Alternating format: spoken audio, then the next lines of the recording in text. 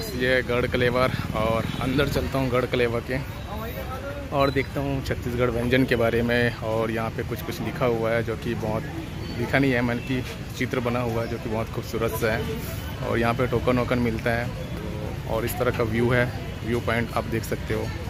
सब यहाँ पे ऐसा है कि एक टोकन काउंटर यहाँ से टोकन लेना है और लेके फिर जहाँ भी आपको जगह मिलते हैं वहाँ पे आपको खुद उठा के लेके जाना है और बैठ के एक जगह पे खाना है ऐसा है?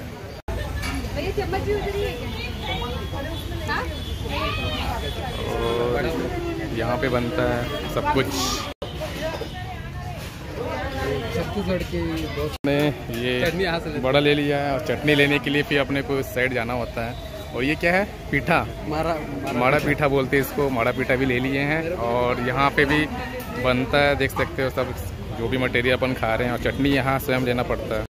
तो हाथ में है मेरे बड़ा और बैठने का एरिया देख रहा हूँ मैं कहाँ पे बैठने को मिलेगा। तो यहीं पे बैठ जाते हैं अपन और बैठ के इंजॉय करते हैं। अरे बाप रे। हाँ यहाँ पे होता क्या है कि खुद लेके आना होता है। तो खुद लेके आओ और खाओ। फ्रेंड यहाँ पे गढ़ कलेवा में होता क्या है कि जो छत्तीसगढ़ के जितने भी व्यंजन हैं, जो अपन घर में खाया करते हैं, अगर आप छत्तीसगढ़ी नहीं जानते, छत्तीसगढ़ लैंग्वेज या छत्तीसगढ़ से नहीं हो तो यहाँ पे आके एक बार विज़िट विज़िट करना ज़रूरी है क्योंकि आप छत्तीसगढ़ में हो और छत्तीसगढ़ के जो व्यंजन है उसको आप नहीं जानते हो क्या क्या यहाँ पे मिलता है क्या क्या यहाँ पे छत्तीसगढ़ में व्यंजन बनते हैं। अगर आप खाना के इच्छुक या फिर देखना चाहते हो तो गढ़ के कलेवा एक ऐसी जगह है जहाँ पर आप आके अपना ये सब छत्तीसगढ़ के जितने भी व्यंजन चीज़ें हैं उसको आप खा के, टेस्ट करके आप परख सकते हो कि कितने स्वादिष्ट चीज़ें हम हमारे छत्तीसगढ़ के बुज़ुर्ग लोग खाते थे और हम भी खुद बचपन में खाया करते थे। अभी तो बस एक शौक हो गया है घर में भी नहीं बनता है। तो यहाँ आके अपन खाते हैं बीस रुपये प्लेट मिलता है और मैंने बड़ा लिया हुआ है और मेरा भाई लिया है। क्या लिया भाई तू?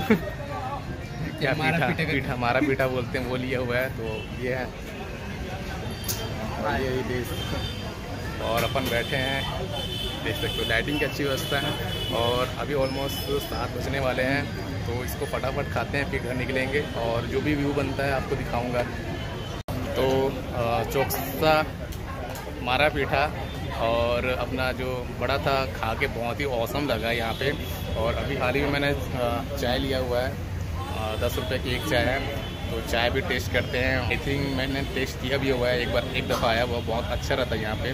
तो एक बार ज़रूर विज़िट करना गढ़ कलेवा में और बीस रुपये में सब कुछ मिल जाता है। ज़्यादा से ज़्यादा आपको तीस रुपये खर्च होंगे।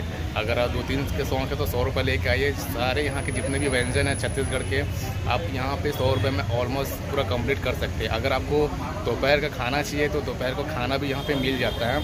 यह जस्ट सबसे लास्ट एंडिंग में यहाँ से जब जाओगे तो वहाँ पे भोजनालय है तो वहाँ पे आप भोजन भी कर सकते हो। और उसकी रेट मुझे नहीं पता है, क्योंकि वो बंद हो गया फ़िलहाल तो। और क्योंकि अभी सात से ज़्यादा ऊपर हो चुके हैं और बस यही था आज का वीडियो। अगर वीडियो आपको अच्छा लगा तो लाइक सब्सक्राइब कर देना और नया हो तो आपको पता है क्या करना है। जी तो मिलते हैं नेक्स्ट ब्लॉग पे। तब तक सबको गुड लक है टेक केयर बाय